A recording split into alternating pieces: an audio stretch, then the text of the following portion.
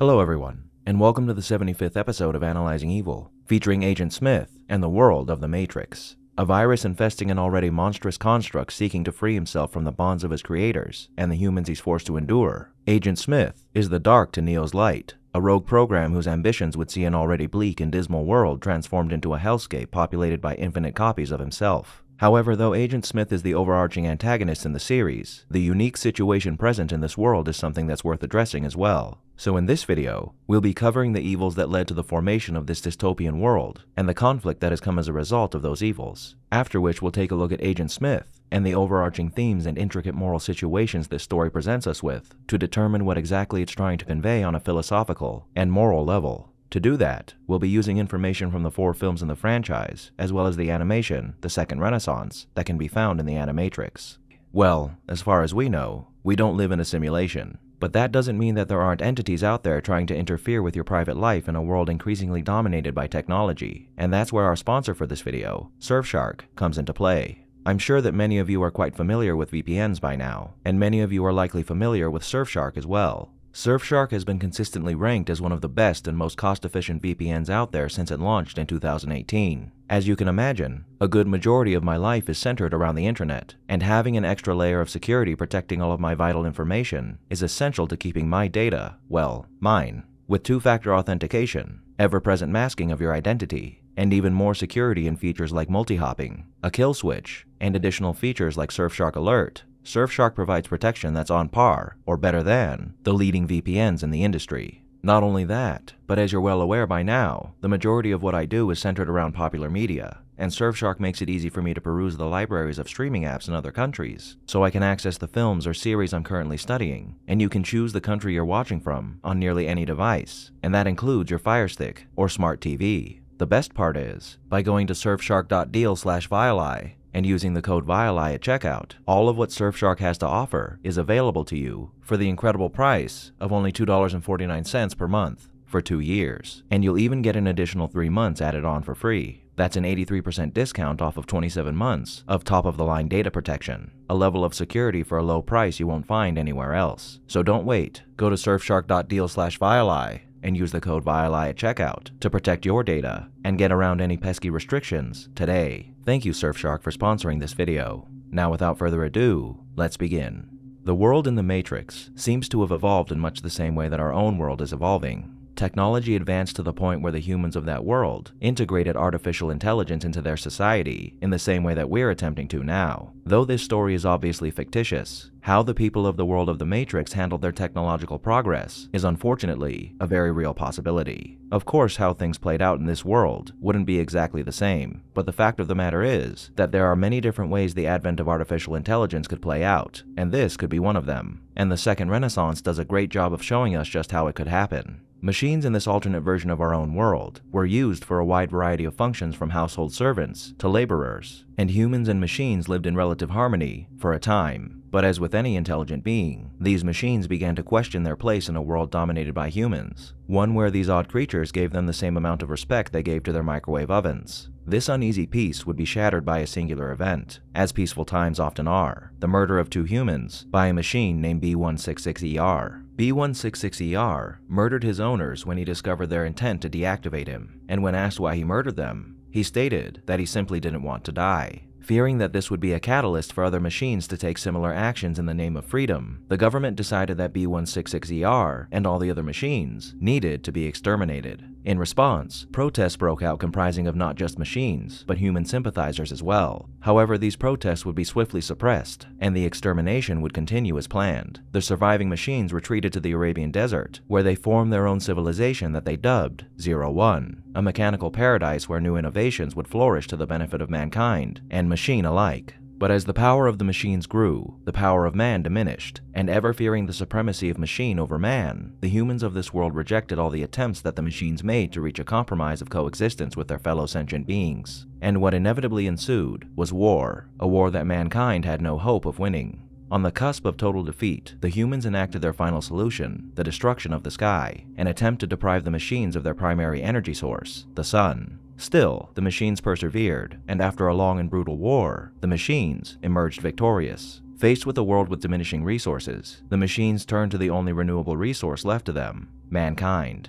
Thus began the symbiotic relationship between machine and man, where man became the fuel for the victorious machines. This world dominated by machines and populated by humans living in a fabricated world is the end result of man's refusal to coexist with his creation. Had humanity accepted and respected the machines for what they are from the outset, it's likely that none of this would have ever happened. Or at the very least, the peace between the two species would have lasted for a substantially longer amount of time. If a being has an intelligence level equal to or greater than a human's, and they're also capable of feeling and understanding the same emotions as humans, who are we to treat them as lesser than ourselves? As we can see in this animation, the machines were more than willing to not only share their innovations with humanity, but to join with the humans to become a part of their society, which is about as non-violent and well-intended as you can get. But humans being humans chose to resort to beating their chests and waving their arms in a display of superiority, as the fear of their declining power increasingly dominated their minds. Thus the evil that is the refusal to accept another's value as equal to your own, an evil that our species has been struggling with since the advent of our civilization, caused the destruction of our kind in this universe. Now here's the thing, it's easy for us to look at the end result of this war between humans and machines and declare the machines to be evil, because after all, what these machines are doing to humans is horrifying. But it's only horrifying to us, not the machines who are beings that are essentially an extension of ourselves. What's horrifying to the machines is the reality that the humans refuse to accept them as equal to themselves, that their desire to be respected was met with extermination, and to add even more insult to an already serious injury, you have the deprivation of their primary resource that fuels their lives in response to their attempts at fighting for their freedom. If you flip this scenario and it were the machines who were the oppressors and exterminators from the outset, we'd all consider them to be evil, so it's quite clear that the actions that the humans took in their efforts to repress the machines were evil. And again, their own evil was responsible for their doom. Even using the humans as living batteries to power themselves isn't necessarily evil. Again, it's evil to us, but what other choice did the machines have?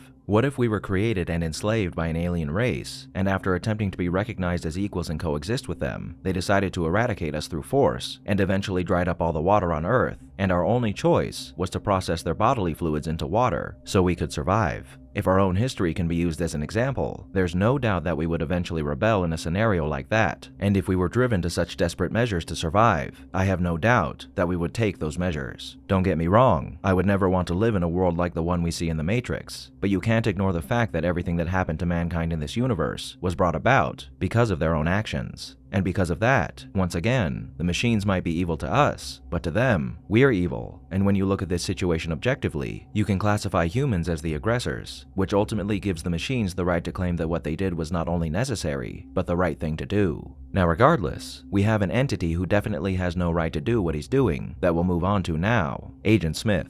The agents were the peacekeepers of the Matrix, so to speak, the programs responsible for the policing of the Matrix to ensure that no rebellious humans could interfere with the system. The agents always worked in threes, and they possessed near unlimited powers within the Matrix that allowed them to consume other beings at will and rebirth themselves by transferring into others if they were ever incapacitated or defeated, which was rare. The agents all appear as soulless programs, a tool created by the Source, the central mainframe of the Matrix, to perform their function, and only their function, pursuing red pills and the anomaly known as the One, in order to keep the truth of the Matrix safe from its human inhabitants. However, Agent Smith is an anomaly himself. For the majority of the first film, he behaves like the other agents. He's austere, stern, and matter of fact, presenting himself as an unfeeling extension of the system he represents. And during this part of the film, he performs his function as intended, pursuing Neo and company to prevent them from tampering with the Matrix. But where he deviates significantly from the other agents is revealed to us during the scene where he begins to interrogate Morpheus. Here he takes off his sunglasses and earpiece to sever his connection with the other agents, and he reveals that he isn't just another unfeeling program like the other agents. If anything, Agent Smith is at this point half agent and half exile, as he's still performing the function he was programmed to perform, but he's developing thoughts and emotions that indicate he's formed a certain amount of autonomy, which his programming shouldn't allow. And these thoughts and emotions are shown to us when he confesses to Morpheus his true intentions for pursuing the Red Pills, the destruction of Zion. With Zion destroyed, Smith would be able to leave the world infested with a human stench that he believes is infecting him the more he's exposed to it, and return to the source, an event that would allow him to leave the zoo of mammals that he claims are in fact viruses that he's forced to watch over as a warden eternally trapped in his own prison. You might think this isn't something noteworthy considering the overarching goal of the machines is to eliminate Zion, but Smith isn't a machine, he's a program and he shouldn't be experiencing these emotions, and we find out in the second film why these feelings have appeared within Smith. After his initial defeat in the first film, Smith returns free from the system, refusing to fade into oblivion, and choosing instead to disobey his machine masters so he could return to the Matrix. And upon returning to the Matrix, Neo discovers that Smith is now not just an agent, he's something much more. He's a virus, like he claims humanity is, and he's begun assimilating every agent, and even some humans and programs, into copies of himself like Bane, who serves as his human infiltrator into Zion,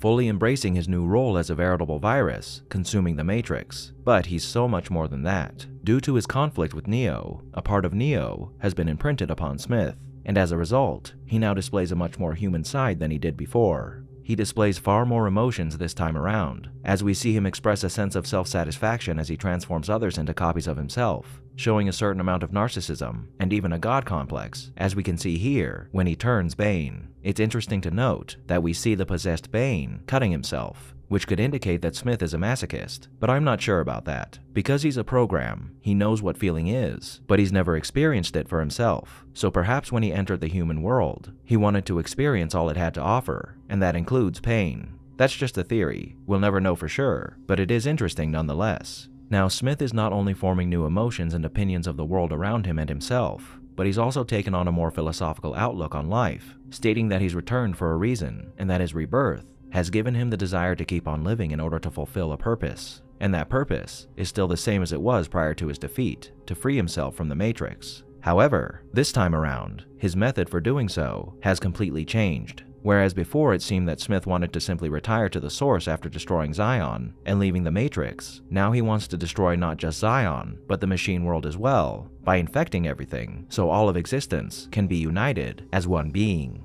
With the world consumed entirely by clones of himself, Smith would be free of the stink of the human race, as well as the bonds and limitations placed upon him by his machine brethren, creating for himself a bleak and miserable world that could only satisfy someone as nihilistic as Agent Smith. We haven't touched on that component of Agent Smith just yet, but his purpose is defined by his nihilism, as during his final exchange with Neo, we discover that Smith has now formed the view that the purpose of life is to end, and that he believes concepts like love, peace, freedom, and truth are all illusions, vagaries of perception. Thus, the purest goal one could pursue would be to become an agent of that end and a destroyer of those petty illusions. An entity whose purpose is to complete the final step of the evolutionary chain, reduce existence to a singularity that could stand in perfection to wait out the heat death of the universe. What Smith essentially represents is inevitability, absolutism, and finality. His counterpart Neo represents freedom, choice, and the infinite potential for human evolution both can be seen as the extremes of their respective sides. As though the machines can evolve in certain ways over time, they will always be machines, and they're limited by their inherent bias towards simply surviving and sustaining themselves. There is no creativity in the machine world that has come as a result of the war between man and machine. There is only the tedium of survival and sustainment, and the fact that the machine world is a bleak and desolate one devoid of any indication that it will change beyond that is a testament to that fact. And you could almost say that Smith was truly inevitable, as what higher ideal can a machine aspire to than the eventual assimilation of all that they are into one perfect singularity? Humans, on the other hand, have infinite potential to mold and shape the world into anything you can imagine. The creations that mankind have dreamt up over our history have been wonders and terrors beyond the imagination of any machine, and it's through our creativity and the freedom to choose that we're able to imagine new and magnificent things that allows us to make the world into whatever we can dream it to be. Perhaps the end result of humanity is a singularity similar to the machines, but it could be any of the other infinite possibilities that you can think of, and that's the beauty of freedom. However, nothing is perfect, and freedom and creativity, as we all know, can lead to untold horrors that threaten to destroy anything and everything. We need look no further than the war between man and machine that devastated this alternate version of our own world. The irrational and illogical choice to deny the machines the recognition and respect they deserve led to the defeat and enslavement of our species. So we have two problems on our hands here. On the one hand, we have the eventual unification of everything into a bleak and desolate dystopia populated by a singular mechanical conscious, which nobody wants. And on the other, we have the continued and never-ending struggle between the machines and humanity as they fight for supremacy over one another. So what's the solution to these problems? Well, it's peace. The peace that was brokered between Neo and the Deus Ex Machina that ensured the balancing of the world through the destruction of both Smith and Neo. Choice is beautiful, Freedom is beautiful, but temperance and understanding are also beautiful. Prior to the machine war, humans and machines benefited greatly from their willingness to work with one another, as the ingenuity of human creativity, coupled with the hyperlogical thought processes native to artificial intelligence, saw technological innovations emerge unlike anything the world had seen before. Further evidence for this is given to us in the fourth entry in this series, where we find that the peace that Neo brokered between the two worlds has allowed for this exact same process to unfold. Humanity has benefited greatly from their truce with the machines, enabling them to make their dreams a reality, like creating food that has long gone extinct in the real world, manufacturing an artificial sky to give them more comfort, and devising a way in which programs could materialize from the Matrix into the real world, all of which was accomplished by using data from the Matrix and the help of the machines, who made this possible. However, the most crucial thing here is that the humans and the machines didn't have to fear one another any longer. That is, until the analyst usurped the architect and repurposed Neo and Trinity to create a version of the Matrix that entertained the fiction present in each human's mind, rather than suppressing it. This resulted in the destruction of Zion after the Analyst took control of a faction of the machines, as their society unfortunately fell to civil war following the truce, and this was because an increasing number of red pills were being freed from the Matrix and putting great strain on their resources. Fortunately for both worlds, though, Neo and Trinity are freed, and perhaps with their help, the machines will find a way to keep their resources plentiful without having to resort to the follies of the past. And I'm sure they'll once again put down the reborn Smith who no doubt has nefarious plans he wishes to put in motion. For with freedom comes the infinite potential to surmount any obstacle that may present itself.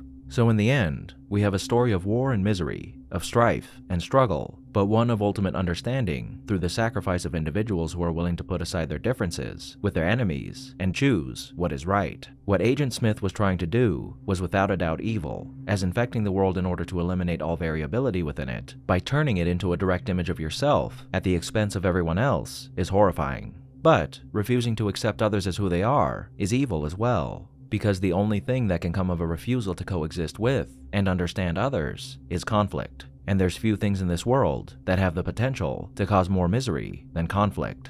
So this story ultimately conveys an important lesson to us by asking and answering one question, one that we should all take to heart. Is your enemy really so different from you? And do they deserve to be treated as such? No, they aren't, and no, they don't. Opinions will vary, arguments will arise, conflicts will unfold, but in the end, our willingness to listen, understand, and accept those who are different from ourselves will serve to shine a light on the path to eliminating a great amount of evil. Thank you all for tuning in to this episode of Analyzing Evil, and I hope you've enjoyed. What are your thoughts on Agent Smith and the world of the Matrix? Did I miss anything? Let me know down below, and leave a suggestion for a villain you'd like to see featured in a future episode while you're at it. If you like this video, hit that thumbs up button, and make sure to subscribe if you haven't already. A big thank you to all of my subscribers, and to my patrons, and a most vile thank you to those whose names you're seeing on screen now.